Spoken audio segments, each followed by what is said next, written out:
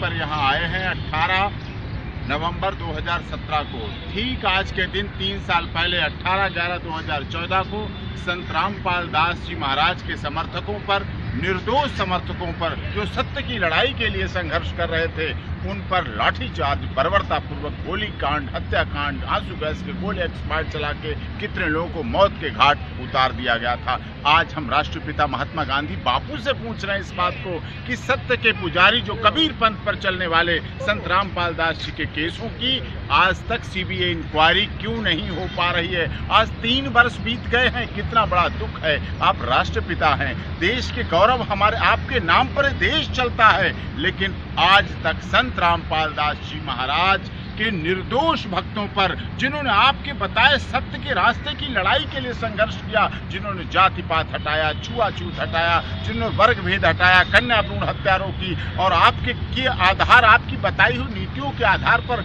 मादक पदार्थों का शराब, गांजा अफीम तरह सबको रोकने का ये प्रयास किया। उसके बाद भी आज उनके केसों की सीबीआई जाँच क्यों नहीं हो पा रही है इस बात का सवाल? और आज हम लोग एक दिन का उपवास करके राष्ट्रपिता महात्मा गांधी की समाधि पर संत रामपाल दास जी महाराज के अनुयायियों के समर्थन के लिए बैठे हैं।